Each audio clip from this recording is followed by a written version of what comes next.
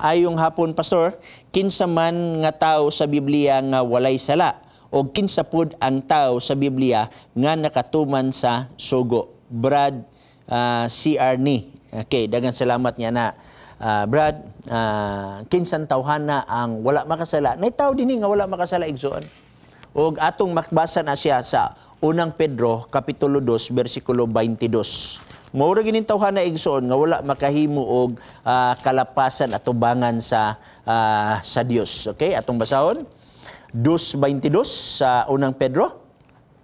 Siya walay nahimo nga pagpakasala, walay hingkaplagan limbong diha sa iyang baba. Kinsa ni igsoon?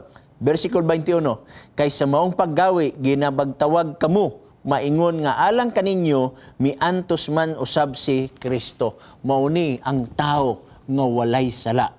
Tanan tao na dayon makasasala. Uh, Roma Kapitulo 3, versikulo 23, ang tanan tao nakasala og nakabsan sa himaya sa Dios.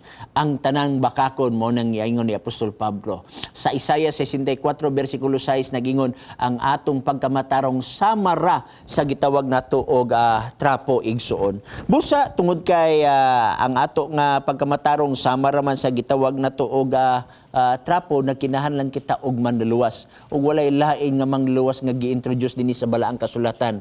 Buhat kapitulo 4 bersikulo 12 walay lain ngalan nga gihatag silong sa langit nga diin kita maluwas pinaagi lamang sa ngalan ni Jesus Christ. Mateo Kapitulo 1, versikulo 21, na tao si Jesus dinhin kalibutan na o ginganlan og Jesus sa maong ah, balaang kasulatan. Bueno, nakabsan makita sa itong panahon sa panahon sa break. Ah, break muna, mabalik kita karon tuntun.